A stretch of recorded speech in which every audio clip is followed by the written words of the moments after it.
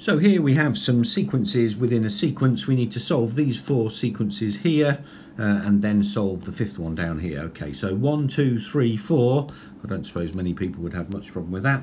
60, 48, 36, 24. We're taking 12 off each time, so that is 12. 26, 27, 25, 28. We're adding 1, taking 2, adding 3, so we take 4, so that would be 24.